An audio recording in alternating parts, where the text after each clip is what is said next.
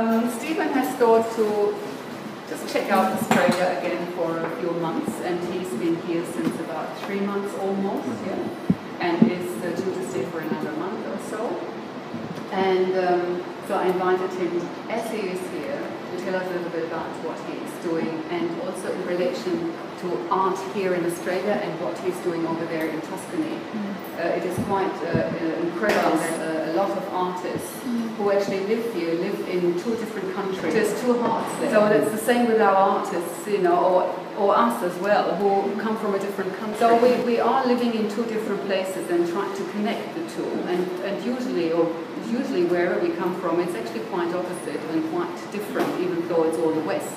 But uh, it is very, very different, and the art scene is, of course, also very different to the European, not just the European, but particularly the Italian art scene. Uh, I don't think a lot of people really know much about the Italian art scene.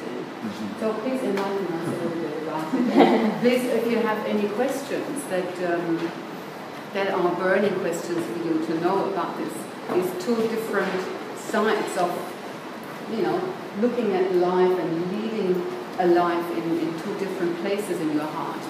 Uh, if you have questions in this regard, please point them so it make it very lively. And in the meantime, I will be serving you uh, this morning French breakfast. And as uh, perhaps some of you may not know, but in France you eat the croissant on a piece of paper. Did you know that? But it's butcher paper. But I got the nice green IKEA paper. So these are placements, um, and so you eat on those placements, just for those who don't know. um, well, as Conny said, I haven't lived in Australia for a long, long time. I came back uh, for several months this time because I haven't been here for such a long time that I wanted to kind of reconnect and find something about myself. And uh, that's why I've been here. Uh, basically, being here, I discovered how much I love living in Italy and so I'm very happy to go back to Italy. Uh, I love being in Australia too, but it's sort of now been, I've spent much more of my life out of Australia than in Australia. Um, from Australia, I went, I lived in Japan, and then from Japan, um, I went to Europe and ended up in Italy just by chance, and sort of have lived in Italy ever since. Um, the first few years in Italy, I lived in Milan, and then for the last uh, 32 years, I've been living in Tuscany. Um, the work I've done, um, I started doing photography in Australia. Uh, for many years, I lived with um, a painter, and when we separated, and we've sort of been doing things together, when we separated, um, I moved over, and for quite a few years, was doing a lot of painting, collage, and things like that. And then slowly, um, through an exhibition I did, I was asked to do near Naples. Um, I've moved back into photography, um, basically because from the mid-90s on, that you could do large-scale color photography, which has a certain kind of weight. And when I say weight, I mean weight like the way painting has weight to it, kind of like a metaphysical or emotional weight. Uh, that you can do in photography now. And so since then I've basically left painting and and that and moved completely back into photography. The exhibition I've got here is, um, I mean, this exhibition wasn't planned. I didn't come to Australia to, to do it, but as I was here, Conny, and there's this amazing space that she has, she said, well, why don't we do an exhibition? Um, so uh, what it was was pieces of, I've just been in Japan before coming. I had some work left over from the exhibition I'd done in Japan. So there was that. And there were a few different things from bodies of different work that um, where I'd exhibit them in different places. So I sort of rearranged in a way that the exhibition could have some kind of um, structure to it, or where the different works would relate to each other.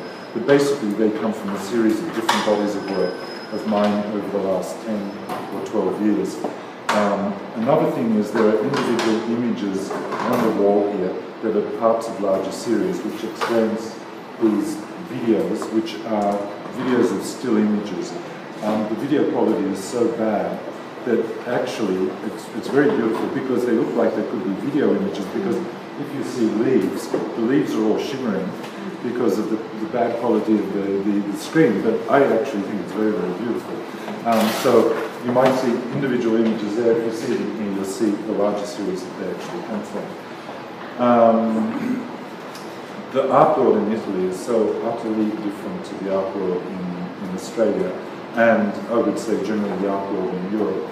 Um, Australia still sort of um, painting is this major art form in Australia um, that is no longer a major art form at all in um, in Europe and, and, especially in Italy, I would say, uh, where there's a much stronger conceptual framework to to what people do, um, and um, and the kind of painting that there is is much more of a conceptual kind of painting, not the kind of painterly painting that you get so much of in Australia.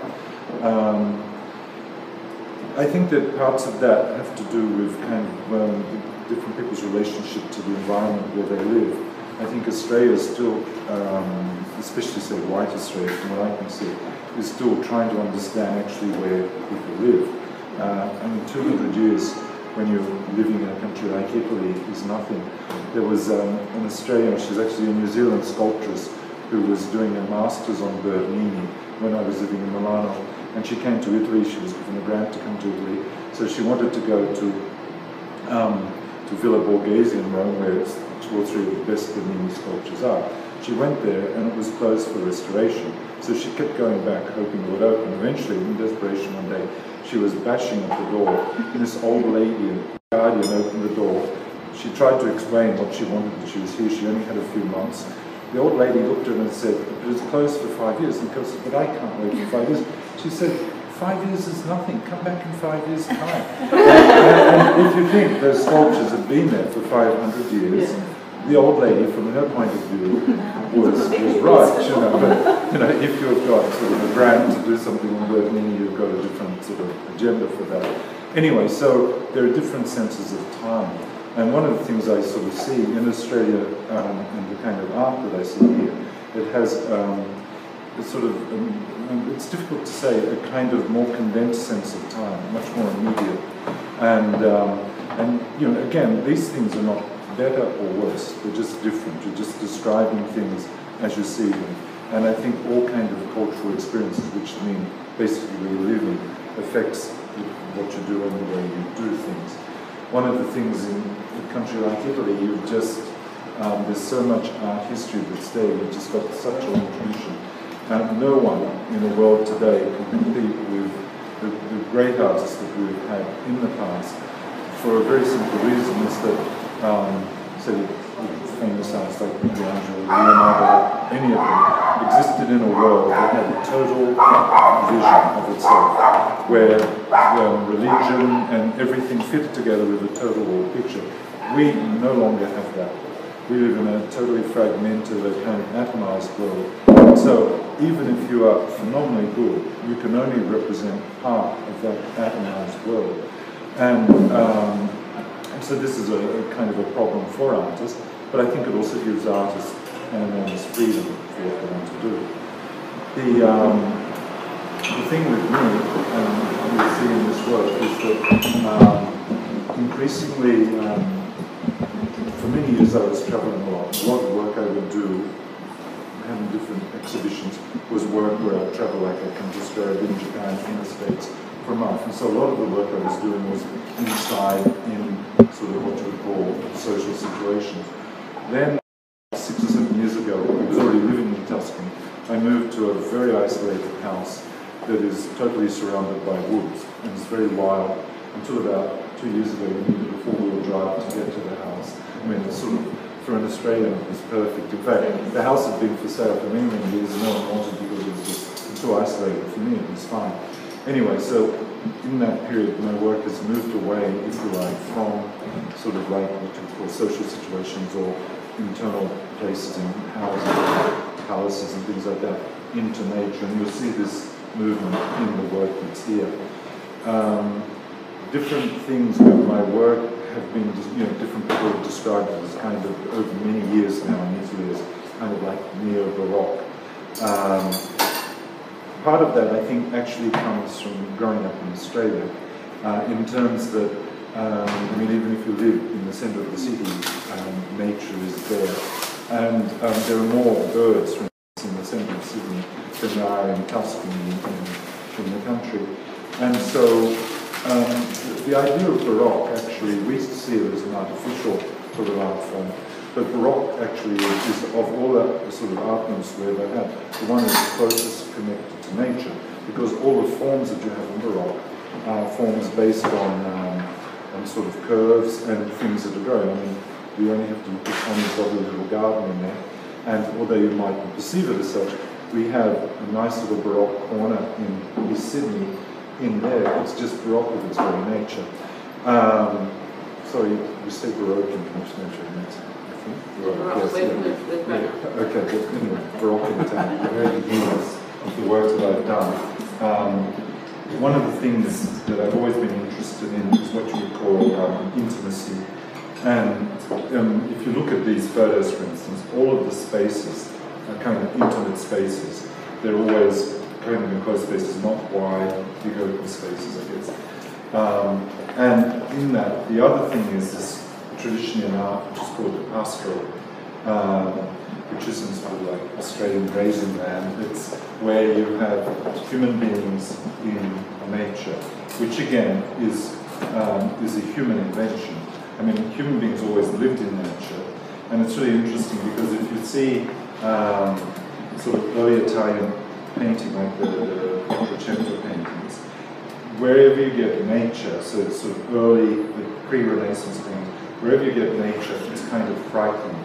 You have the walled city, anything happening outside is this dark wood that is terrifying because there are wolves, there are lions, um, all these animals kill you. And the only people you ever get in nature is someone like Saint, Saint Anthony, where there's often a picture of him taking the thorn out of the, the lion's foot, things like this. San Francesco. And one of the things that we don't realize, being Western people, is how uh, fundamentally anti-nature Western culture is. There's one Western saint of nature, San Francesco, and there are hundreds of Muslim saints of nature. Um, and one of the reasons, you know, the Western development of scientific um, sort of thought, which has then sort of led into sort of industrialization, and the whole kind of um, sort of ecological crisis that we have is a Western phenomenon. I mean, we brought it to the world. Everyone else might be joining in, but it's our basically our baby. With that, so we start with an idea of nature as alienated in Western thought, which goes back to Christianity because nature represents the devil, um, woman, nature, Eve, the tree, the apple, the serpent, and all of this. Adam presumably was there thinking about God sort of sitting under a tree looking at clouds. Um, anyway, with that, the first artist that we get that sort of starts this idea of what you call the pastoral is Giorgione, and um, where's that beautiful painting of his of there's a naked woman and there's a, a lotus clay and she's bending over and, and taking um, some water in a pitcher and the idea that human beings could live in harmony in a kind of natural world um, in this thing. And um, then from that you get to Titian, then sort of it goes on um, to San. Then in the 19th century, sort of you get to, well, you also the um, Rococo painters like Fragonard or Watteau who deal with sort of these kind of idyllic situations. Often it's a kind of bacchanal situation where people enjoy themselves. A lot of it's very sensual or sexual um, sort of orgies in, in the country, but where everything sort of fits together. Then in the 19th century you get to Corot and Manet with his um, with Jeunesse in which suddenly this idea of human beings sitting in nature in a relaxed way becomes totally modern, where this woman suddenly is sort of terrifyingly naked and sort of totally out of place with these men that are sitting there talking about politics or philosophy or whatever. And um, so one of the things that for me, growing up in Australia, and what I was saying before, that one of the reasons why um, it's so, so profound in Australian art is nature. But the interesting thing in, that I perceive in Australian art, and my knowledge is very rudimentary, only what I see when I come, there is no real tradition of the pastoral in Australian art. That you, um, you tend to get either nature or art, and it's very rare that you get this kind of uh, things where one flows into the other. Um, part of that could be the prickly nature of Australian nature. It's not as if you want to sit naked, sort of where red ants are crawling around and things like that. Um, and the bush is a kind of, it's not, um, not embracing in the way that, say, European nature is embracing. Um, so there's that. Anyway, so in my work, it has been the scene of the pastoral, which sort of ends up in this series of, of people floating in water, um, which is the stream under the house where I live. Um, and which is, the, there's a, the more total series is this middle um, video screen that's here. Um, so these are sort of other qualities that I found that living in Europe, I've been able to develop. That um, if I showed you the first work I did in Australia, it was already there. Um, I can look it up on my iPad, if you want, you can scroll through my webpage and look at it. It's a black and white work that was made into a book. Um, but it's sort of outside of the Australian tradition, something like that. And part of me that going to Italy, in a certain sense, I found something of myself that I wonder if I had lived in Australia, would I have ever known? And often I think um, that when you are a foreigner, and Australia is a country made up purely of foreigners, uh, that um, that you often find things in yourself that you wouldn't have discovered where you come from. You know, I, you know, I don't know, but you know, I think of Conway, Sergey, so many of us that come from foreign backgrounds. You know, going somewhere else allows you to, to discover things and to bring out things that perhaps are there, but that you wouldn't necessarily come across yourself. Um, anyway, I think I could keep talking around and around forever. It'd be more interesting if people want to say um, things or ask questions or say what they feel and what their situation. Just about that uh, observation about the Australian landscape. That generally, when there is a human interaction with portraits of the Australian landscape, they're always men. Yeah. Nearly always men. And there are very few images of women in the bush rather than in a, uh, Mm. a uh, city. That sort of image would be um, Hilda Rix Nicholas's few, you know, beautiful paintings as Scottish water Yeah. Like that. But still, it's interesting because she's still then cast in that still male role, but at least it's a female presence in the landscape that, you know, apart from We, one of the things Australian art is, is homoerotic. Art in Australia about 10 or 12 years ago, the initial on eroticism in Australian art. The most erotic image in Australian art is the dead soldier in the Anzac Memorial um, in Hyde Park. Go and have a look at it. There's this dead man sort of lying over on the shield like that. It is staggeringly beautiful. It really is. And there are, apart from Bill Henson, and there are very few, um, and you know, I think his work is erotic, but there are very few images that sort of what you would call sensual erotic of women in Australian society um, and Australian culture and the bush. And there's very few, I mean, Sydney Long has these kind of figures, but they're kind of um, asexual. And Rupert Bunny's figures are always in a, in a highly civilised um, landscape. Yeah. It has been imported Mm. from Europe and it's like a little, um, you know, world unto itself Hmm. rather than being part of But part of this is could be um, because Australia was a, um, uh, a wilderness, so-called, that becomes then colonised. And you get the same in the United States, where you have the idea of the frontier.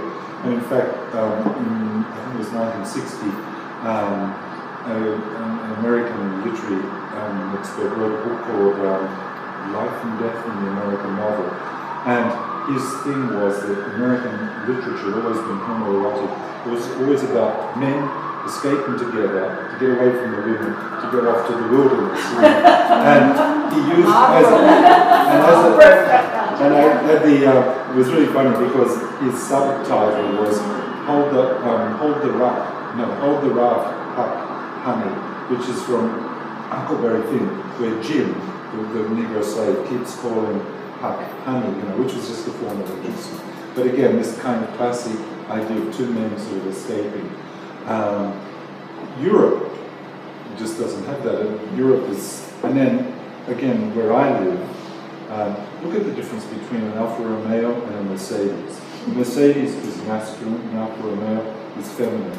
Italian is perhaps, or Italy is perhaps the most feminine culture in the world. And there are only two um, cultures that have basically the goddess as, as a major um, thing. One is India, and the other is Italy, and Roman Catholicism. And Hmm? Greece. Yeah, well, but as a. But you have one, one photograph Mm. where the woman holds her breast, looks like a Greek statue, you know, like one of those vases. Ah, yeah, well, sort of ancient Greek, but I meant as a Yeah, living tradition, Greek. as true, but as a living tradition. And like, obviously, we have the Pope in Italy, uh, we have this sort of very uh, patriarchal structure, but on a base, on a living that level, it is, you know, Mary's the mother of God. I mean, the Italians will tell you they're very simple. So, you know, um, and on where you travel around the country, you have all these little shrines everywhere. Only in the mountains in the north do they have Jesus. For the rest of Italy, it's always with the Madonna or a female saint. And so, on a practical level, and in India it's the same. I mean, uh, from a theological level, the, the goddess in India is not the most important you know, at all. Um, but it's the goddess Shiva, she is the manifestation which Shiva sort of is perceived in the world.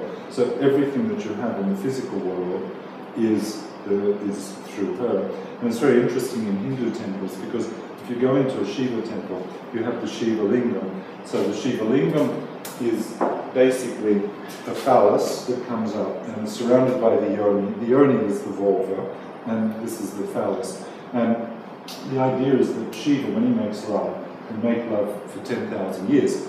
So there's a bit of friction and things can get very hot. So one of the things you do in Shiva temples, people are always pouring oil on the lingam Milk, to and milk, milk. to keep it sort of from getting too hot. Because if you get too hot, then you're going to have sort of the world's going to go up in smoke. Now the interesting thing with this, if this is the the, the, the, the penis here and this is the yoni around it, where are we? We're inside the body of the goddess. Because we're this is vulva and we're the penis, so we're inside. You know, and so Indians, I mean, they're not thinking about it. An Indian going in and sort of putting oil on it is not thinking about that. But the, the, the underlying reality is that everything that you perceive is female and of the goddess. And Italians have a very similar kind of approach to you know, the physical world and life. Australia cannot have that because of the nature, of it's so big, because it's, inhospitable. it's Look at. Daisy Bates, we've got this lonely woman in the bush, Iron Mountains. Yeah, yeah. And so these Yeah, are. but it's, uh, doesn't it also come back and stem back from the, uh, the establishment of the country where only soldiers, um, you know, the military really stepped in, molded everything down, maybe aboriginals or trees, it didn't matter what was in the way. Hmm. And then very later on, civilization began. Yeah. And they had, and, and the women who actually were carted in, they had absolutely no rights, and they were treated like, you know, wearing machines Mm, who yeah. created population, really. And, uh, and I think if that is the foundation of Australia, there is no wonder why we have such a, a male blocky country where a, a woman just doesn't stand a chance, no matter what. More interestingly, apart, that's true, and yet interestingly, there were women as, as um, free women on the first and second, certainly the second fleet. There were women that, that were allowed, and families that were allowed to come out as partners to people. There were Yeah. convicts on the second fleet, my And the second. one, and they were here early on, and they were, were like Elizabeth MacArthur, they were at, that was Elizabeth MacArthur, she built the wool industry, not John MacArthur, it was her. So the women were actually here. So, but actually backing up your story is that we never talk about that. Yeah. It's always being projected as an I'm outcome, even when, though when they're women given the respect. Yeah, and even they're- though they- yeah. Yeah, it's worse, it's worse. And I also, if you read early Australian pioneering history, particularly in Western Australia, you'll find mentions often of don't bring the missiles out here. And, you know, and there's consternation amongst the people who are working on cattle stations and sheep stations that there might be a woman around and that would upset the balance of, you know, the order of things and introduce discomfort into, you know, a, a male society. Uh, But can I ask you, what is a male society? What do you like to do by yourself? What, what is so interesting? I think it's actually the fear of the goddess, and I actually think that's very, very, very deep seated. It's actually the fear of the actual creative power of the woman Yeah, that the man actually can't control, which is why the whole narrative of men is about exactly. control. And we never integrated with nature here. The nature here was the No. prison bars. So basically it was hospitable, inhospitable, and, and you said it, it's, you know, it's a barren, inhospitable landscape because we were trying to live it with Western That's values. right. Therefore it is inhospitable if we're trying to live that Yeah. way. We never looked at it as a unique country with its own landscape that needed to be incorporated and the society needed to incorporate itself into it. We just used it as this sort of like barren. Then I realised, um, through Pontiac show in Cologne, off the main pedestrian shopping street, walking up and down this street, you only had to walk 100 metres to where some of the galleries were, and there's no one. And I, I go around to galleries wherever I am, and I travel a lot. Generally, be it London, um, Sydney, Tokyo, I am the only person in any given gallery at any given time, which says a lot. The only place that's different to that is New York, in which there are a lot of people um, going to see art. But again, one of the reasons the galleries are all compressed to Chelsea, basically. Um, so there is a problem of, you know, it's not that, you know, just that people, maybe less people are buying now. There's a problem that we have a culture that's moving into a culture of spectacle. I mean, it's been moving for quite some time. What is spectacular gets a lot of um, news, and what isn't. And like this morning, I was in a cafe having breakfast and looking at Spectrum magazine. I, I wake up early from it, uh, I couldn't wait till 11 o'clock. Anyway, so I, I'm looking at Spectrum. I open there's John McDonald's review, and then I turn over, and you get a double page instead of a single page for cinema. Now, the Venice Oh, Biennale. I'm sure there are six things. Yeah, there are two animated beyond that. The thing is, art is like that, but you can have the Venice Biennale for art. Okay, so for all of us involved in art, that's a major thing. Even the Italian newspapers, where after the opening, you might get one or two pages at maximum, four pages on the, the Biennale. When there's the, the, the Biennale for the um, cinema, every day there'll be six or seven pages just on that. Why? It's where the money is, basically. I mean, where money is, where advertising is, it goes. And art no longer has that, that money base. I don't think that's necessarily a bad thing, but it, it's, it's kind of problematic. It's problematic for the artists, it's problematic for the galleries. You know, Conny knows, and any, you know, galleries, how hard they work Well, just to keep things. And like, for instance, um, one of the things with digital, this series of borders, the first series I've moved over entirely into digital. Digital does have some good things. Digital is about flow. Um, digital is very democratic. I mean, all things digital. And actually, the, the title of the series is called Flow. What I found was that um, I could set the, the camera on a tripod, and basically all the uh, people in the series are me and my family. And, um, and I could kind of direct. You know, you can shoot 100, 200, 300 photos without having to take the film out of the camera, set it up, get the person out shivering in the water. So you could do, because this water is underground water that flows into a pool. It is icy cold even in summer. The only person who enjoys it was a very frequent friend uh, who was in August. She was sort of like a fish in water uh, there because um, she was you know, just fragrant women you know, on the. Um, and um, so, uh, you know, so yeah, you, you get an image of it. There's a lot of sort of things behind it, like in the Technology. You couldn't do that at all. Well, you could, but it's, it means you just, you maybe it works, maybe you only discover later on you redo it.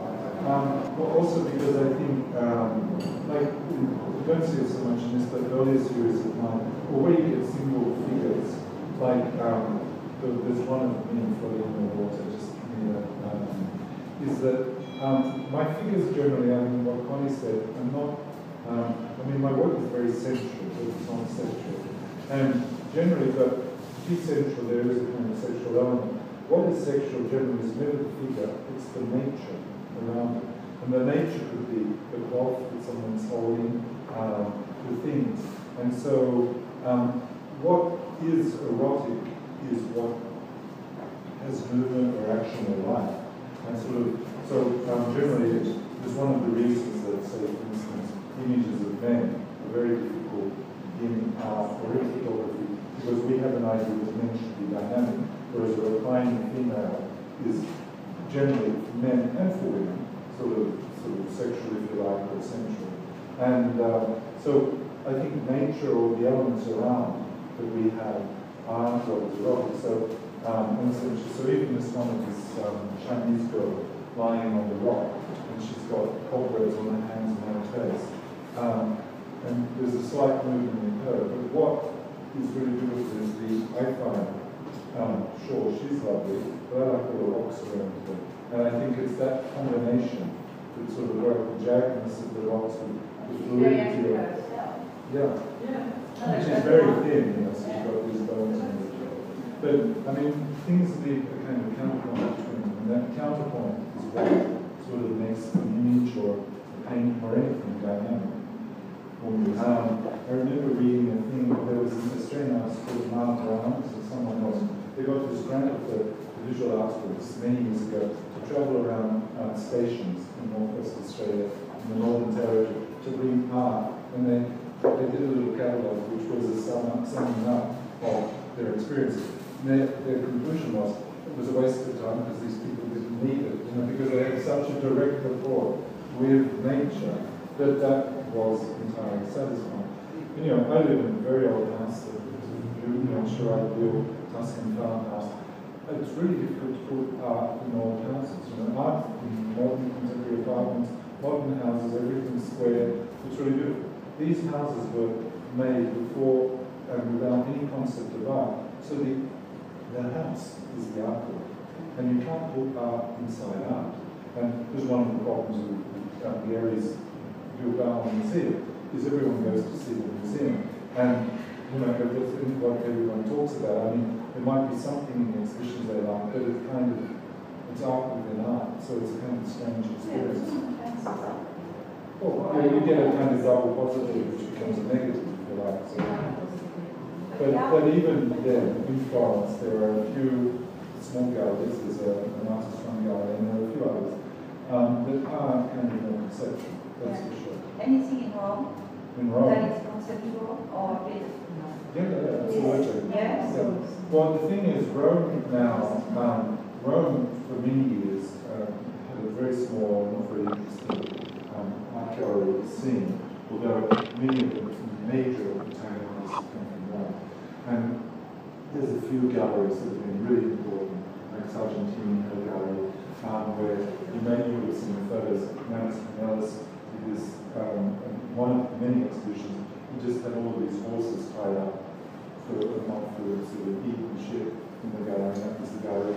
Um, that was the exhibition. So these things in the 1960s. So it was a very important gallery for conceptual and art things in Rome.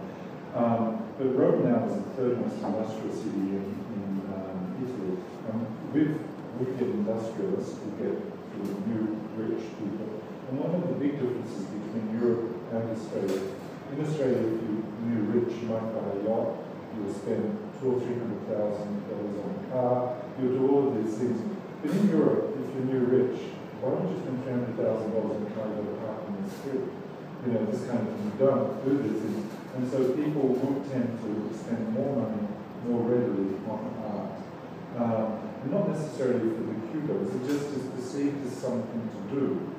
You know, and um, so one of the major galleries in the world is a gallery that is in San Gimignano, which is near where I live. So San Gimignano is this famous sort of tourist town in Tuscany that has all these towers. Um, and three young guys started the gallery there, it's called Gallery Continua, um, about and just a bit over 20 years ago. There were three young guys, and this is, um, so they had the energy three young men. Generally, is one person, so you've got three times the gallery, uh, the energy. Then, because it was in a country town, they had their whole family sort of support structure. So it started in a tiny you know, the first gallery would been as big as um, this area and that area they put together. And gradually got bigger and they, they got sort of better. And there was a, an unused cinema um, in the town. They convinced, and they set themselves up as a cultural institution, got the, the local council to rent the cinema and they turned that into this major gallery space where people like uh, Ai Weiwei, um, remain climbing the there, um, Schiphol exhibit there. From that, they now have a gallery in Beijing, the last six seven years ago in Beijing. They have a gallery in, um, in Boulogne, um, just out an hour Paris. They do, now, in San Gimignano, they don't do much selling. What they do is they do the, the art fair um, Giro, and that's where all galleries now make money. And Conny will tell you, I mean, you go to an art fair, for gallery, it's an incredibly expensive thing. If the gallery comes out having covered its costs, um, it's doing really well. You know, because often the gallery will go away and come away sort of having spent twenty or thirty thousand dollars if they don't get back. Um, one of the problems that you get is moving to spectacles, so galleries like, uh, so art fairs like Art Miami or Art Basel. Um, to give you an idea, I had a show in a gallery um, um, complex in Florida, and so I was in this gallery. The gallery next to me, the gallery that I was showing, went to their first art Miami. In one weekend, spent is uh, they sold as much as they had sold the whole preceding year. They came back and closed the gallery immediately. They thought, what's the point of having a gallery when we can do this just through art? And there are a lot of galleries now survive on this thing, but it's a kind of big and miss thing. You can, when you spend a lot of money, you can make a lot of money. But you can't, you can't, that is something a lot of uh, galleries don't know, particularly the young galleries. Tristian Koenig in, in Melbourne do that. You can't be a gallery that is not a gallery participating as a gallery in an art fair because the, uh, um, the terms and conditions are that you run the gallery for at least a minimum of three to five years before you apply and get accepted to participate in an art fair. And that gallery actually has to run also at least uh, for something like 35 hours a week to be open for 35 hours. That means it has to be a professional business that runs every day. Hmm.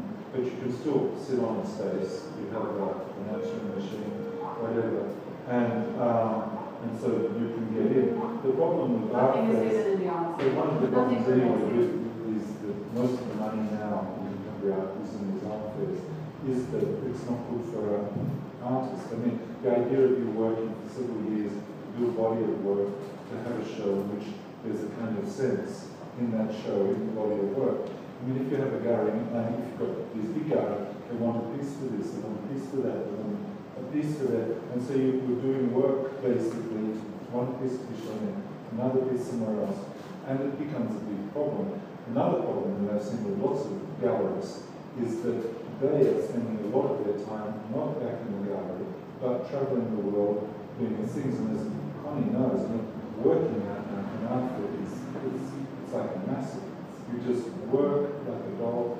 You, it's just terrible. I mean, it's so difficult. And these people that are moving around all the time, and I think you can do it for a certain bit, but but you lose the, the idea of the context. We are, as a, as a normal gallery, um, and I think I speak for the majority of most of the galleries, um, you have to do it yourself. And after you got to show up with an fair, you're really rugged, and now you have to put on the, the, the dress and mingle with the multi-millionaires and, and show a nice face when you actually got to crash. So that's the, the reality of, uh, of this, you know, of, of the situation. I had the most crazy experiences to sell big pieces in the last hour of an art fair. Until then, you have to hold it. You have, you have to have so much faith and such positive energy and such positive thoughts. You cannot lose faith in yourself and that you will sell and that you will sell your artist, that someone will come. And it's really power of the mind.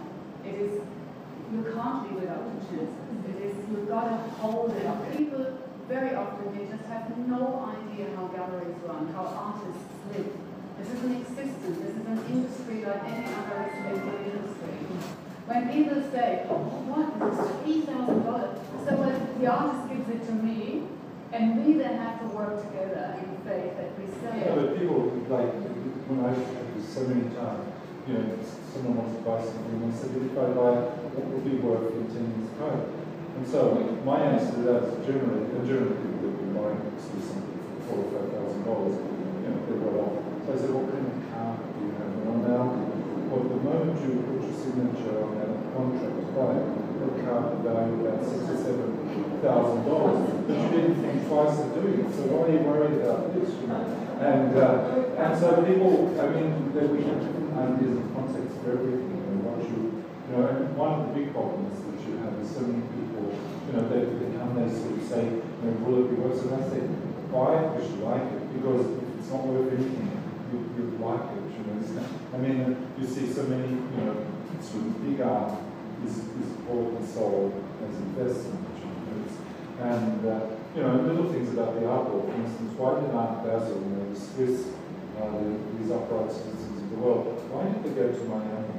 Why don't you do an art fair in Miami and not in New York or Los Angeles now? Because of narco dollars, basically. All of that South American money gets there very easily. Library or Yeah, I mean, the big art world, you know, these big prices. Um, so, I mean, what we perceive as art and its prices and, and its values, uh, and you see this overseas much more in Australia, are a giant flux. You know, sort of stated prices and real prices are always totally different. I think what is, if I can add to that statement, is, um, I think the problem is really the perception of value, of price. Um, I think in Australia, people are not used to, to buy art. They want a big painting of one fifty by, by one meter for two and a half thousand dollars, and that's what the perception is. And if I sell a small work for eighteen hundred that is that, they think, no, I can get a bigger one. So you see, it is a completely different set of values that I have to deal with. People coming to my gallery. Art gets created out of the need of what the artist perceives from society in his life and makes that visible to the public, which is a huge thing because he turns the inside out to make it visible. And that always has something to do politically and socially with the climate of the country wherever they live. Thank all of you too for your incredible participation and your comments and statements and questions, etc. I think that is incredibly valuable because the discussion and the conversation Wow.